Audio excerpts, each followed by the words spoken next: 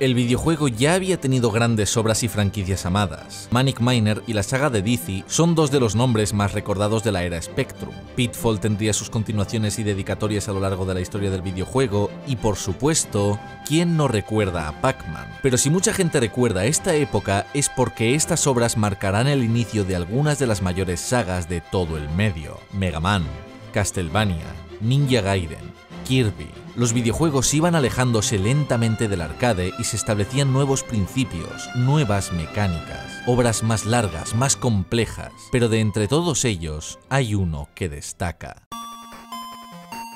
Fantasy Star, de la Master System, hay algunos rasgos llamativos de este título. Primero, su personaje principal, Alice, es de las primeras mujeres en protagonizar un videojuego. Antes que ella, en 1986, Samus Aran sorprendió a los jugadores de Metroid al revelar que todo este tiempo habían estado controlando a una mujer, y el primer personaje femenino jugable seguramente fuera... Pac-Man. No, perdón, la señora Pac-Man. Pero había otro elemento llamativo de Fantasy Star, y es que fue el primer videojuego que expuso al público occidental a un nuevo género llamado JRPG, o juego de rol japonés, aunque no fue el primero ni tampoco el más importante.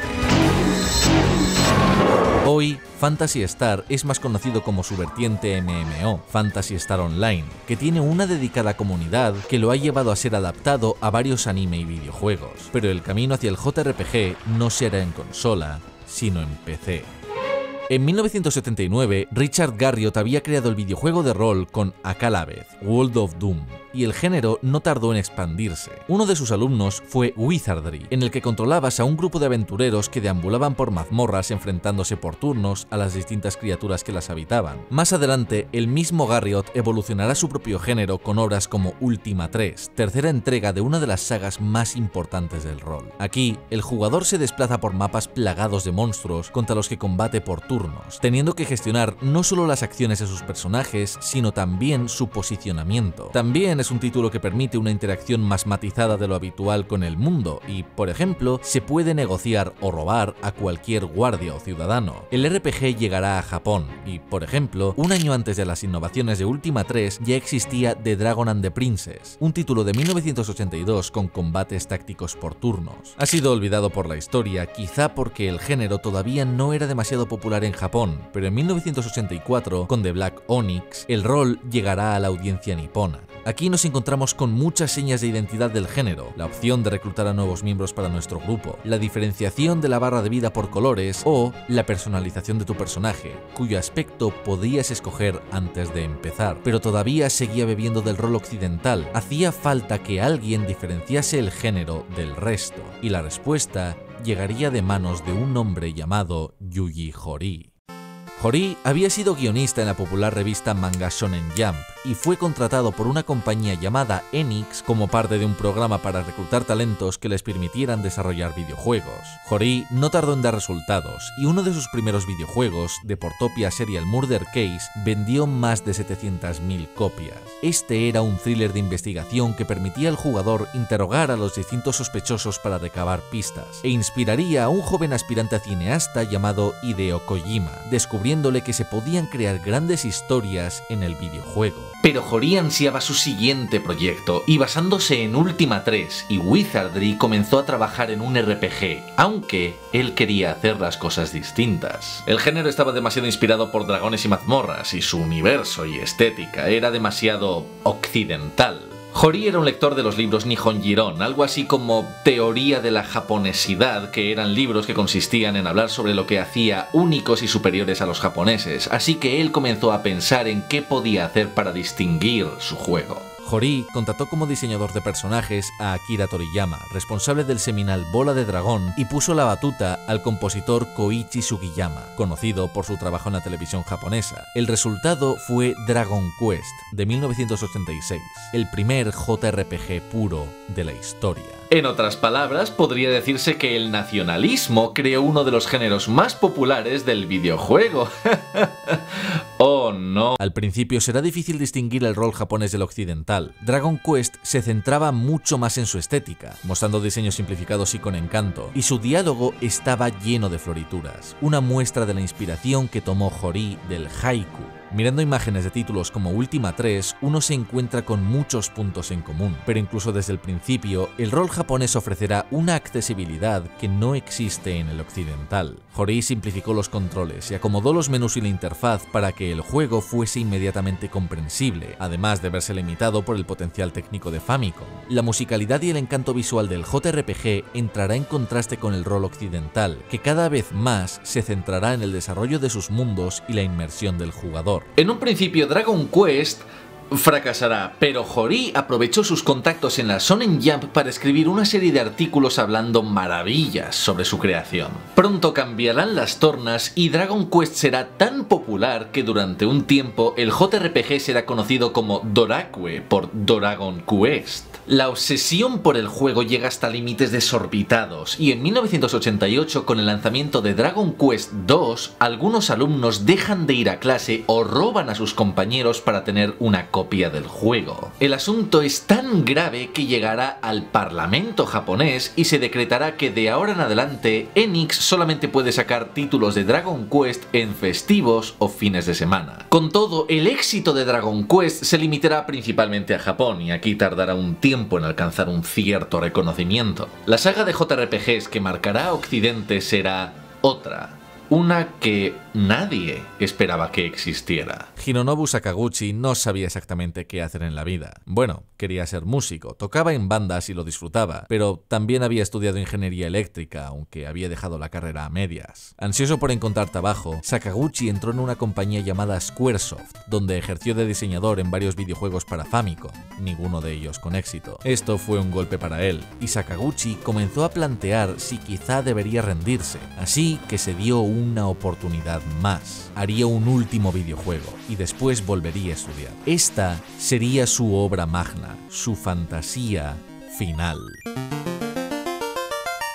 Sakaguchi sabía que la competencia era dura y quería diferenciarse de Dragon Quest. Frente a la estética kawaii del título de Enix, Final Fantasy era shabishi, solitario. Para eso contrató al ilustrador Yoshitaka Amano, quien había diseñado los personajes de la película de culto Tenshino Tamago y sabría darle un toque de melancolía y trascendencia. Para cerrar, puso al mando de la banda sonora a Nobuo Uematsu, quien compondría canciones más atmosféricas que las de Dragon Quest. El objetivo estaba claro, si esta era la última obra de Sakaguchi, lo daría todo. Dragon Quest consiste en vencer al temido Señor de los Dragones, un poderoso villano que asola la Tierra. Final Fantasy comienza con una misión parecida. El malvado Garland ha secuestrado a la princesa y nosotros, los guerreros de la luz, debemos rescatarla. El camino es fácil y pronto nos encontramos frente a Garland, quien no tarda en caer. El rey entonces explica que esto era solo el principio. La princesa está a salvo, pero el reino aún nos necesita. Han abierto un puente que nos conecta con el resto del continente, y lo que para Dragon Quest era toda una aventura, para nosotros es solo el comienzo. Y cuando cruzas el umbral, queda claro hacia dónde apuntan.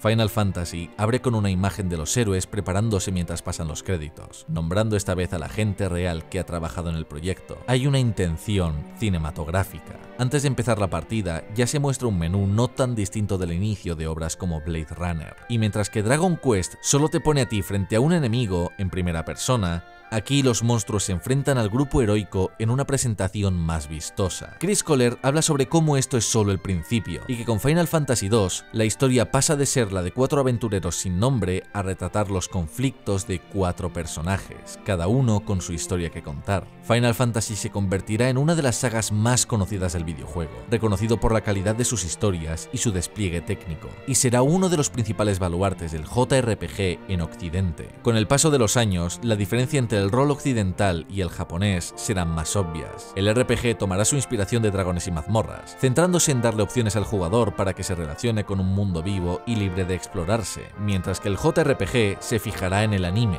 y ofrecerá historias cerradas pero llenas de drama e intriga, mostrando nuevos mundos con diseños fascinantes. Pero esto es solo una fracción de los muchos JRPGs que irán apareciendo a lo largo de los años. Los 80 darán luz a una miríada de grandes juegos y se les podría dedicar un vídeo a cada uno de ellos. Por el bien de mi salud y si quiero terminar algún día esta serie, no puedo permitirme parar en cada uno de ellos, así que será mejor que avancemos hasta el nacimiento del mayor icono del videojuego. Shigeru Miyamoto había obtenido reconocimiento por Donkey Kong, pero este no sería su último clásico. Su protagonista originalmente no tenía nombre, y Miyamoto sabía que podía explorar muchos conceptos jugables con él. Jumpman, como había pasado a llamarse, sería el villano de Donkey Kong Jr., la secuela de Donkey Kong en la que el hijo del gran simio tendría que rescatar a su padre. Toda una inversión de los tropos que mostraban cómo, según Miyamoto, ninguno era ni el héroe ni el villano, sino personajes con distintas perspectivas. Pero Jumpman tenía algo que atraía a Miyamoto. El equipo le puso el nombre de Mario en honor a Mario Segale, el arrendador del espacio donde se encontraba la sede de Nintendo of America. Pero algo que permanecería era su diseño,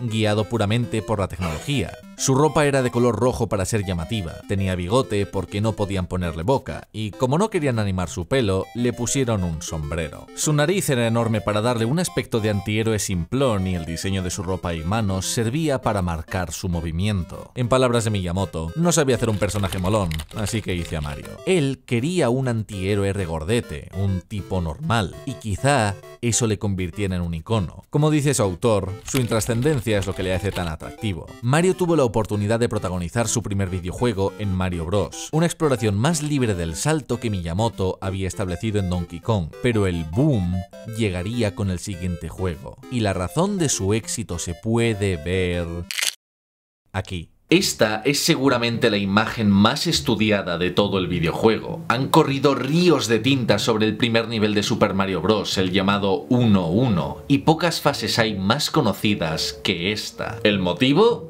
Puro diseño, o como diría Shigeru Miyamoto, ingeniería humana. Ningen Hogaku. Parte del trabajo como ilustrador de Miyamoto era diseñar las interfaces de juguetes y juegos, y él se dio cuenta de cómo esos detalles podían orientar al usuario sobre el uso de sus productos. Lo que hace tan legendaria esta primera pantalla es cómo te orienta para que aprendas cómo funciona el juego desde el principio. なんかまあ何か出てきたら避けるでなんかハテナってついてるので叩くだろうねって言って叩くとコインって言って嬉しいので次のハテナをコインって叩くと出てくる。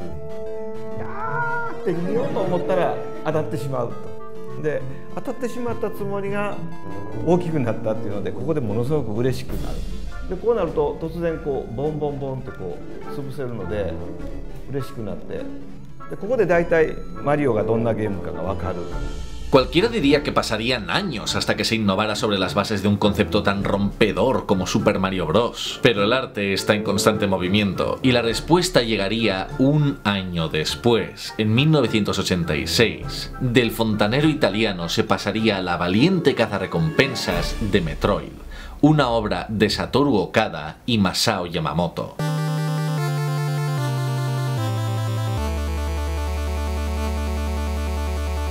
Vale, cuando juegas un videojuego en scroll lateral, normalmente ¿hacia dónde vas? Derecha, ¿verdad? Es la tradición, así que en Metroid caminas hacia la derecha hasta que te topas con un muro. Hay un pasadizo, pero eres demasiado grande para cruzarlo. La solución es que desde el principio no tienes que ir hacia la derecha, sino hacia la izquierda donde encuentras una nueva habilidad que permite a Samus transformarse en una esfera. Mientras que en Super Mario Bros. la pantalla solo puede moverse hacia la derecha y no hay manera de dar marcha atrás, aquí sigue a Samus Aran. Con ese sencillo gesto, Metroid te está hablando. Este juego va de explorar y descubrir. Tras cruzar unos pocos pasillos, te encuentras con una sección vertical que te abrirá un montón de fases distintas, nuevas paredes que podrás cruzar conforme vayas desbloqueando nuevas habilidades. Este concepto no era exactamente nuevo, las aventuras gráficas ya ofrecían puzzles que bloqueaban tu progreso, y Adventure de Warren Robinet tenía llaves para abrir puertas y espadas para afrontar a sus enemigos. Lo que hizo Metroid fue fusionar estos conceptos e integrarlos en la evolución mecánica de su personaje, mezclando aventura y plataformeo en un género nuevo que tardaría unos años en germinar. Castlevania entonces era un juego muy distinto, una aventura de acción lineal, pero en los 90 pasaría por un cambio radical que le llevaría a completar el puzzle de esta nueva forma de juego, el Metroidvania. Aún quedan dos grandes innovaciones, y la primera será la evolución de Adventure. Las aventuras de exploración y acción en perspectiva cenital ya se habían hecho antes. Los hermanos Stamper habían creado Attic Attack en la era de Spectrum, y Dragon Slayer era un juego popular en las computadoras japonesas, pero nadie lo había hecho como The Legend of Zelda. Este videojuego de aventuras protagonizado por Link, un joven elfo que debe enfrentarse al malvado Ganondorf, era una obra de constante descubrimiento. Adventure sería la primera, pero se centraba principalmente en recorrer su mapa laberíntico y encontrar los objetos adecuados para avanzar. Con Link, nada era tan simple. El mundo era un lugar peligroso y había que hacerle frente explorando y combatiendo. Igual que Samus, Link obtiene nuevas armas que le permiten enfrentarse a desafíos cada vez mayores. Pero mientras que Metroid ligaba esas armas al progreso y muchas veces las mejoras eran necesarias para explorar o incluso descubrir nuevos espacios, en The Legend of Zelda el jugador es libre de vagar el mundo bajo su propio riesgo y generalmente aumentan su arsenal. Esta era una aventura demasiado ambiciosa y expansiva para completarla en una sola sentada, a lo cual se introdujo una innovación tecnológica, una batería interna que permitía guardar la partida y continuarla en otra sesión. A partir de este punto, los videojuegos de consola podían alargarse durante varias horas, como Dragon Quest o Final Fantasy, ya que hasta entonces un jugador hábil podía completarlos en una tarde. La posibilidad de guardar ya existía en los ordenadores, pero los videojuegos de consola estaban muy inspirados por la mentalidad arcade, que era muy de usar y tirar. Gracias a esa pequeña innovación se abrió el camino para hacer videojuegos mucho más ambiciosos. Pero todavía queda un último título, uno tan masivo que tiene su propio efecto psicológico y que solo ahora ha perdido su título como videojuego más vendido de la historia. Y en este caso, la duración da igual. Es todo cuestión de rejugabilidad.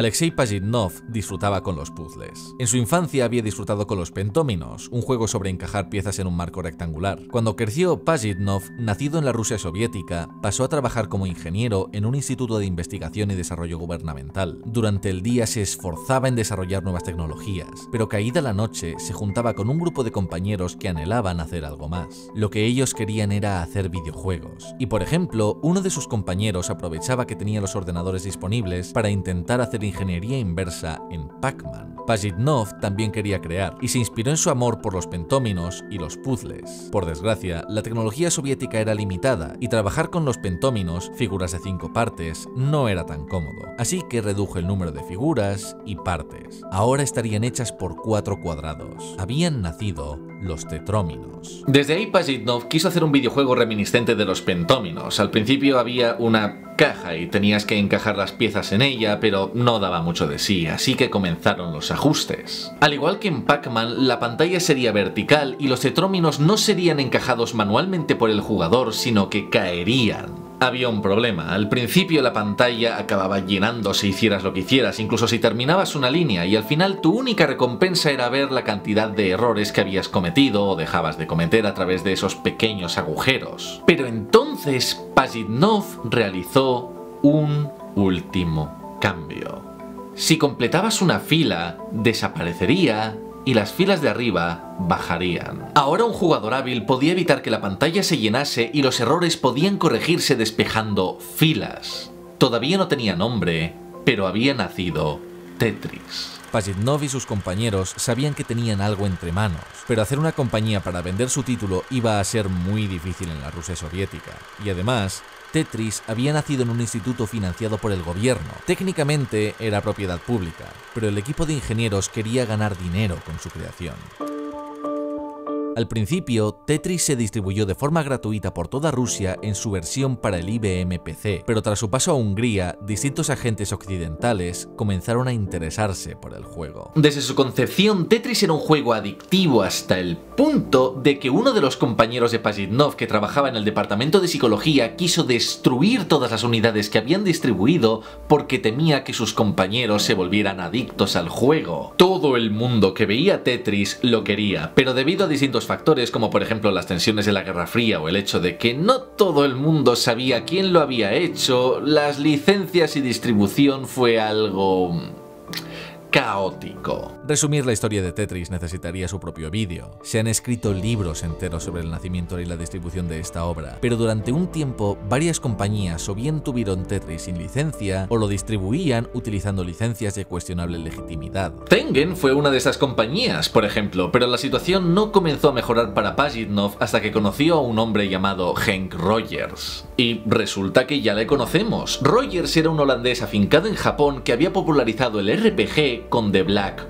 money Rogers era un desarrollador de éxito, y al vivir en Japón comenzó a desarrollar lazos con Nintendo. Lo que al principio era desarrollar los videojuegos que sugería Yamauchi se fue convirtiendo en una labor de oteador buscar grandes títulos para llevar a Nintendo. Rogers acabó siendo enviado por Nintendo para competir por los derechos oficiales para licenciar Tetris, pero además influiría en su impacto global. Nintendo estaba a punto de lanzar Game Boy en los Estados Unidos y querían ofrecer un videojuego junto a la consola para que resultase más atractiva. La decisión era evidente pondrían a Mario, ¿verdad? Sin embargo, Rogers tenía una idea distinta y habló con Minoru Arakawa. Si quieres que los niños pequeños compren tu máquina, entonces incluye a Mario. Pero si quieres que todo el mundo juegue a tu juego, mete Tetris. Nintendo acabaría haciéndose con la licencia de Tetris y, en efecto, saldría junto con la Game Boy. Desde ahí, Pajitnov y Rogers comenzarían a trabajar juntos hasta que en 1996 fundaran The Tetris Company, momento en el cual Pajitnov podría empezar a cobrar gracias a los royalties de Tetris.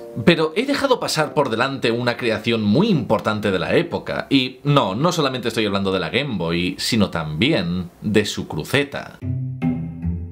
Al principio, cada consola tenía su forma de manejarse. La Atari 2600 tenía el joystick, Odyssey tenía ruedas a los lados para modular, por ejemplo, las palas del ping-pong, y a cada nueva consola había un nuevo hardware al que acostumbrarse. Hoy hay un modelo unificado. Todos los mandos tienen dos joysticks, cuatro botones frontales y cuatro superiores, uno de pausa, otro de opciones y una cruceta direccional. Esta cruceta, o D-Pad, es un invento de Gunpei Yokoi, el maestro innovador de Nintendo, y aunque originalmente irá explorando la idea en sus consolas portátiles Game Watch, será gracias a él que nazca el primer estándar de mando. NES tenía dos botones frontales, uno de pausa, otro de opciones y una cruceta. Quizá debido a la popularidad de Nintendo, este será el modelo sobre el cual se construirán los demás mandos. El cambio de estándar no se producirá hasta que llegue PlayStation con su DualShock, pero todavía le quedan años por delante al reinado de Nintendo. La presencia de un estándar en los videojuegos es importante porque, bueno, se juegan, son interactivos. Si ya cuesta hacerse con los controles de un mando desde cero, imagínate tener que hacer eso cada vez que te enfrentas a una nueva consola. El lugar más caótico, sin duda alguna, serán las computadoras. Todas tienen el teclado en común, pero cada juego encuentra usos distintos. En Attack Attack, por ejemplo, te mueves a izquierda y derecha usando Q y W, mientras que subes y bajas con R y E y disparas con T. No es intuitivo respecto a qué tecla te mueve en qué dirección, y hay que mover los dedos para disparar. Jugar hoy a juegos de Spectrum sin instrucciones es tantear a ciegas.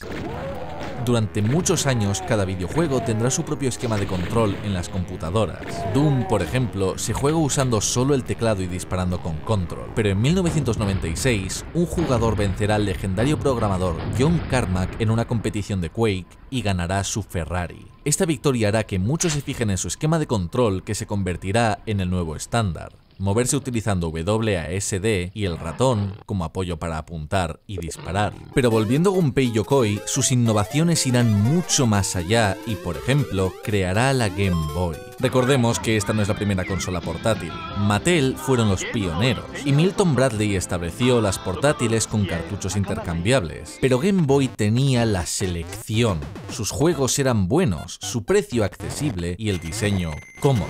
Game Boy se convertirá en una de las consolas de mayor éxito del videojuego y opacará a la competencia hasta tal punto que cuesta encontrar un momento en el que la consola de Nintendo sea contestada por nadie. La versión de Sega Game Gear es más potente a nivel técnico y tiene un despliegue de color y píxeles con el que Game Boy solo puede soñar, pero eso la hará más cara que la portátil de Nintendo y con una batería menos duradera.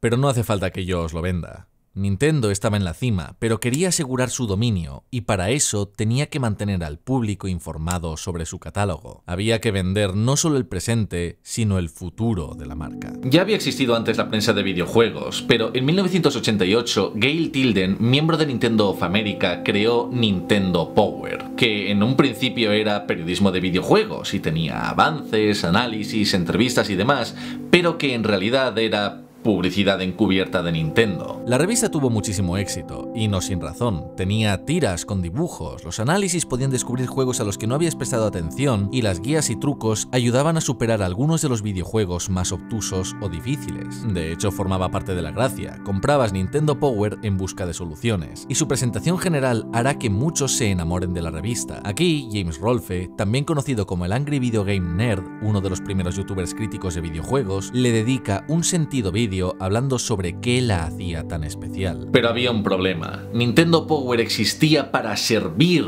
a Nintendo y será tan popular que muchos copiarán su modelo y línea editorial. Durante las próximas décadas, la prensa de videojuegos será mayormente servil, no solamente a las compañías, sino también a un público que busca confirmar sus preferencias y leer algo cómodo y sencillo. Sus textos serán simples, poco analíticos, poco críticos, comercialistas y dirigidos a un público joven. Eso importa poco o nada a Nintendo. Para ellos el objetivo se había cumplido y no solo serán una gran compañía de éxito. Gracias a ellos el videojuego renacerá en los Estados Unidos y comenzará el largo camino para recuperar la posición que habían tenido en los años 70. En cuestión de unos pocos años, el videojuego pasará de ser tabú para muchos comerciantes a convertirse en su principal fuente de ingresos, y el mundo lentamente se abrirá con curiosidad a sus propuestas. Desde luego calará entre su público. Y llegado un punto, Mario será más popular entre los niños que el mismísimo Mickey Mouse. Abarcar casi una década cuesta mucho, y quizá os hayáis dado cuenta de que, por ejemplo, apenas le he prestado atención a la Master System de Sega. En parte esto se debe a que el grueso de la acción estaba ocurriendo con la NES, pero también es porque muchos de sus grandes videojuegos eran ports del arcade. Igual que las consolas, el arcade no había muerto, y al mismo tiempo que llegaban las consolas de Sega y Nintendo, aparecerían algunos de los títulos más importantes de las recreativas. La escena arcade iba a vivir su gran edad de oro y Yu Suzuki, un desarrollador de Sega, sería uno de los principales responsables, pero también faltaba otro jugador, uno esencial. La competición había estado siempre ahí en los videojuegos. Desde Pong, la intención era ganar al otro, e incluso con los arcades de un jugador podía haber piques por ver quién conseguía la puntuación más alta, pero pronto llegaría un videojuego que convertiría esa competición en algo cercano y personal. Los videojuegos estaban a punto de llevar la pelea a las calles.